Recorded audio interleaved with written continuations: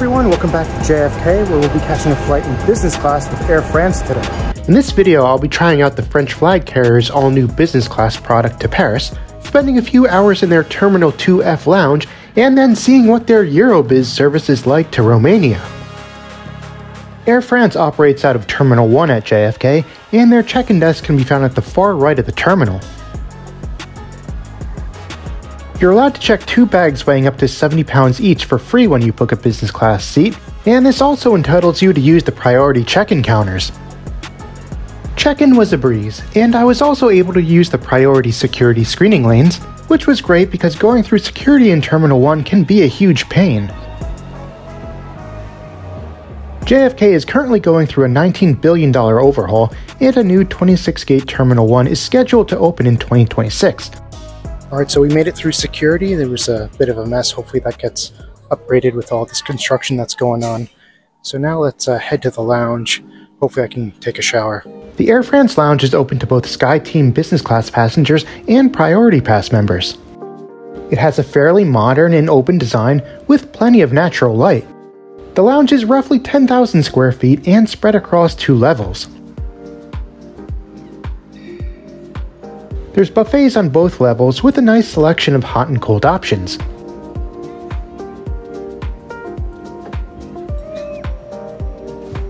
And if you'd like to grab a drink, there's an espresso machine, tea, soft drinks, juice, and a selection of wine and liquor.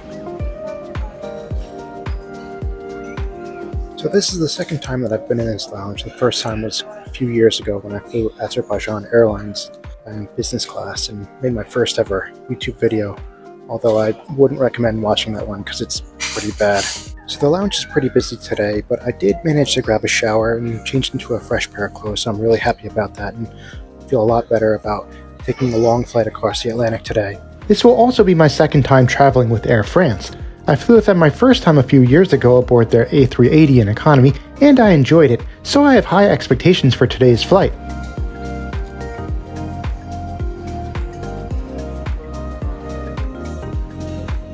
I enjoyed my time in the lounge, and about 45 minutes before boarding, I decided to leave and do a little plane spotting. Air France currently operates the Boeing 777 and the Airbus A350 to JFK, and I'll be traveling aboard this A350-900 to Paris today. Air France ordered 28 of these planes in 2013 and received their first one in 2019. Last year, they placed another order for an additional 50 A350s, which they'll begin to receive in 2026, this has all been in an effort to replace their older A330s and 777s. After wandering around for a while, I headed to the gate where boarding started promptly at 445. And since I was in Group 1, I was amongst the first passengers allowed to board.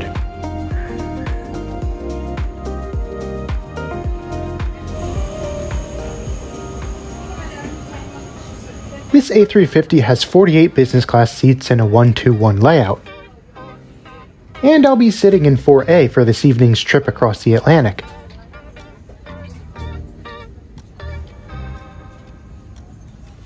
Air France also has A350s which have 34 business class seats in an offset configuration similar to what United has in their Polaris business class, but this aircraft has been outfitted with their all-new redesigned reverse herringbone seats.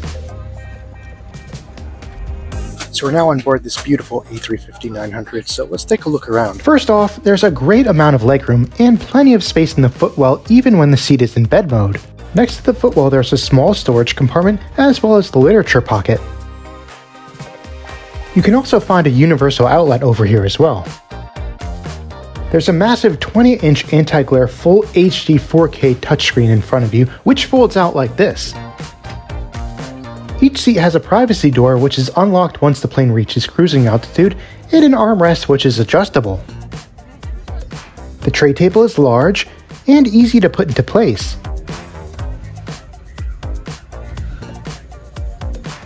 My seat had a large ledge next to the window, which had a wireless charger along with USB-A and C ports above it.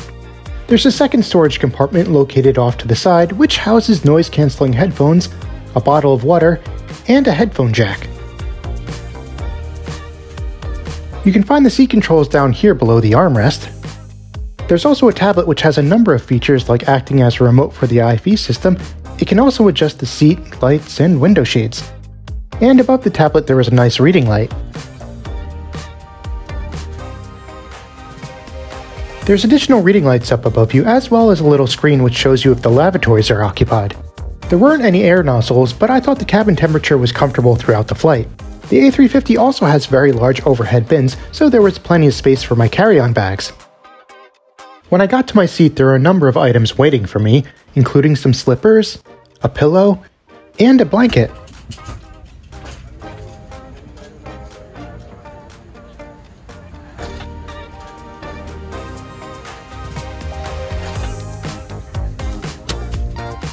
So I have a really good first impression of this seat. I think it's beautifully designed. It's very spacious. I don't feel claustrophobic at all. Um, this crew's really nice. The service has been really good so far. So so far so good. Shortly after we had taken our seats, the crew offered everyone some non-alcoholic welcome drinks. We could choose between water and this juice. They also gave everyone menus. Flight attendants just handed out an amenity kit we had a choice between a gray one and a blue one. The amenity kit was stocked with a variety of items, including an eye mask, a pair of socks, a pen, a toothbrush and toothpaste, and some moisturizer and face cream by Clarins. In all, it was a very solid amenity kit. First Officer Quentin Blasi, we are very pleased to welcome you aboard this Airbus A350 Air France bound from Paris Charles de Gaulle. We will be fully ready within the next few minutes. Flight time uh, 5 hours on uh, 55 minutes, weather on arrival is fair, temperature 70 degrees Celsius, 63 degrees Fahrenheit. I leave you on the good care of Madame Anne-Sophie Valfrère, team on issue of a pleasant flight. We pushed back from the gate on time and headed out to the runway. Air France operates multiple flights each day between JFK and Paris, but they also have a daily service between Newark and Paris. So if there's any New Jersey residents watching this, that might be a good option for you.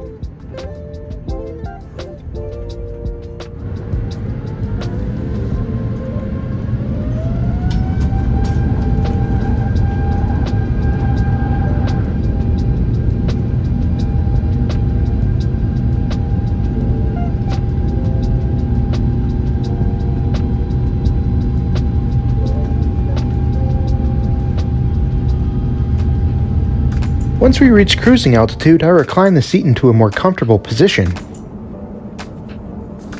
You can also turn the seat into a fully flat bed.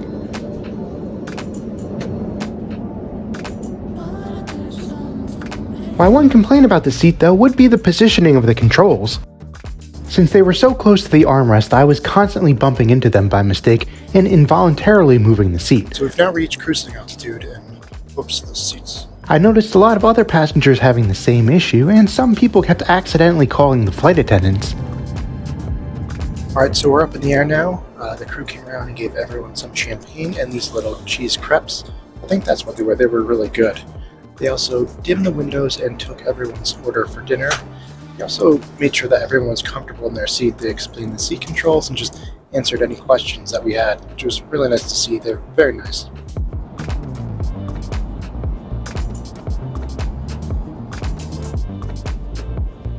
And as I mentioned before, once we reached cruising altitude, our privacy doors were unlocked. Dinner was served about an hour and a half after takeoff. Everyone received the same appetizer, which was lobster served alongside a smaller salad. We were also given a larger salad, a selection of cheese, and some bread. The dessert was also on the tray, which was the San Sebastian cheesecake. For my main, I ordered the prime rib with demi-glace sauce, which came with mixed grains and pan-fried vegetables. Overall, I really enjoyed the food, and I thought they did a good job with the presentation as well. I've seen some other reviews which complained about the food being served on trays, but I really didn't mind, although my taste might not be as refined as some other YouTubers out there. And a little bit later, the crew cleared everything away and offered us all tea and coffee. Once dinner was over, I headed to the lavatory. There's nine lavatories on this plane, and the ones that I visited were always nice and clean. The business class lavatories were also stocked with some amenities from Clarins. Once I got back to my seat, I decided to take a better look at the IFE system. There was a nice selection of movies and TV shows, but Wi Fi was available and you could purchase packages to surf the web if you wanted. However, messaging was offered for free. I was able to find something to watch pretty easily, and I even used the headphones that were provided. Normally I'll use my own headphones, but these ones worked well for me. And then the cabin lights were dimmed a little bit later. Um, my own little cocoon right now. It's really comfortable. I'm really enjoying it so far.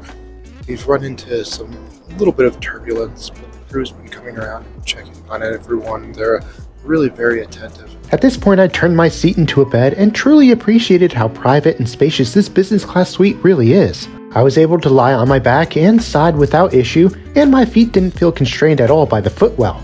This was a major complaint that I had about United's Polaris business class, where my feet were really crammed in the footwell.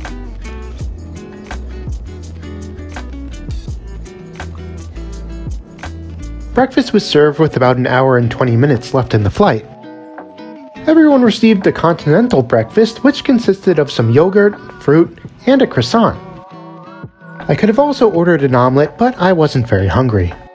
So we just finished up breakfast and we have under an hour left in the flight. And overall, I really enjoyed this flight. I thought this plane was very comfortable to fly on. It didn't get too warm. The seat was also very comfortable. I, really enjoyed it. The crew was very nice. Overall, great time.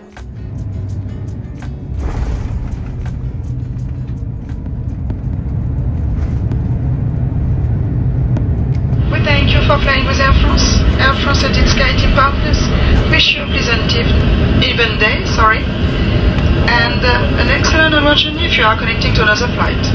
I was scheduled to have about a three hour layover here in Charles de Gaulle Airport before my connecting flight to Bucharest, although it was going to be pretty tough to fly in a Eurobiz cabin on a narrow body after such a great trip aboard this A350.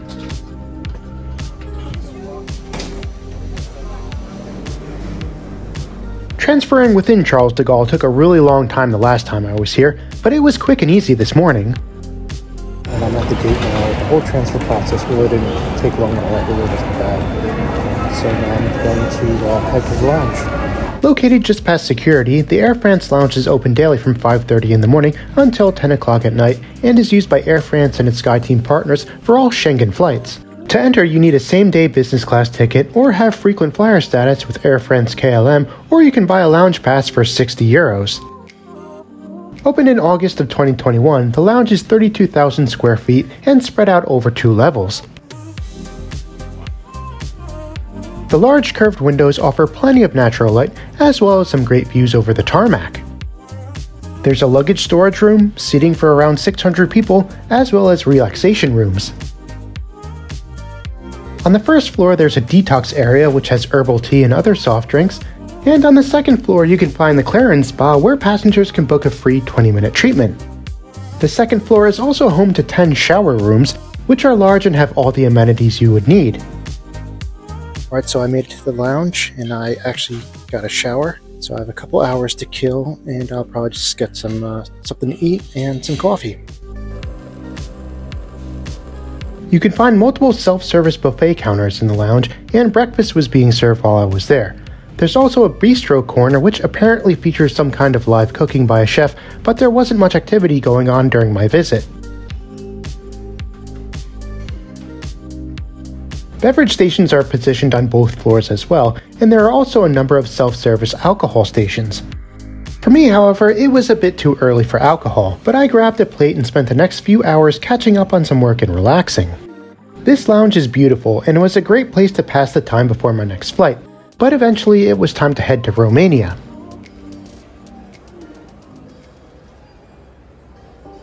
For the final leg of my journey, I'll be flying aboard this A321. However, things didn't start off so smoothly. Our plane was late in arriving, so our boarding time got pushed back a few times. The terminal was really crowded this morning, so things got a bit chaotic, and people kept on trying to cut in line. Boarding started eventually though, and I was eager to get on the plane. For those not too familiar with inner European business class, it typically consists of economy class seats with the middle seat blocked off. There were four rows of business class seats in this cabin, and I'll be sitting in 2A. The legroom was the same as you'll get in economy, which was fine, and there was plenty of space in the seat back pocket. The tray table folds down like this, and there was even a cup holder attached to it. The seats also reclined and had adjustable headrests. There was also a coat hook, as well as overhead reading lights and air vents. We didn't receive any welcome drinks, but we did get these moist towels. Uh, we are allowed to leave our stand in five minutes from now. It's uh, uh, departure time imposed by the air traffic control.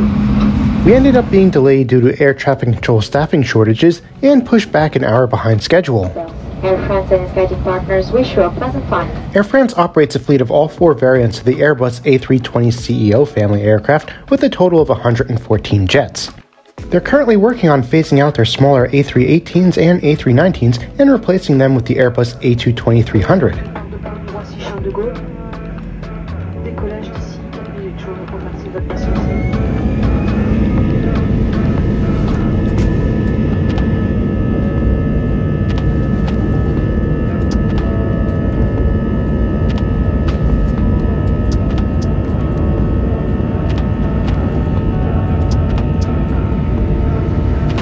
Soon as we got up into the air, I reclined my seat and settled in for this roughly two and a half hour flight to Bucharest. The crew began serving the meal 20 minutes later. In economy, I noticed they were given either a ham or cheese sandwich, but we were served a quinoa salad along with asparagus and mozzarella as a main. This came with some bread, cheese, and a piece of chocolate cake. In all, not too bad for such a short flight. They also gave us some chocolate a bit later. Once the meal was cleared away, I looked for a way to pass the time. There's no IFE system on board, but there is Wi Fi if you'd like to purchase a plan and surf the web on your personal device. Apparently, some of these seats have USB ports, but I couldn't find any around me, but I did come prepared with my own charger. In the end, I just closed my eyes and tried to get some rest. Of course, it would have been nice to have been sat in the recliner style seats that many US airlines have on their narrow bodies, but having a free seat next to me was great. I enjoyed the meal that was served, and the crew was also very nice.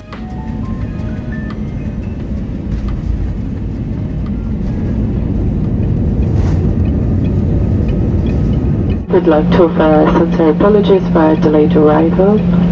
We thank you for flying with Air France. Air France and its guiding partners wish a very nice day and a very nice stay in Romania. I had a fantastic time traveling with Air France in business class to Romania despite the delay. I've seen some negative reviews in the past about Air France, but I've only had positive experiences flying with them. I booked this trip for 70,000 miles plus an additional $200, and I think it was completely worth it.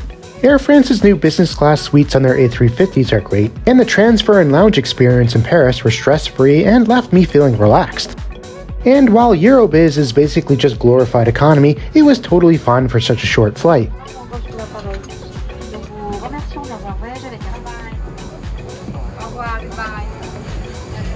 Alright, so we finally made it to Romania. It was a long but nice journey with Air France. Thanks for watching, and I'll see you again soon.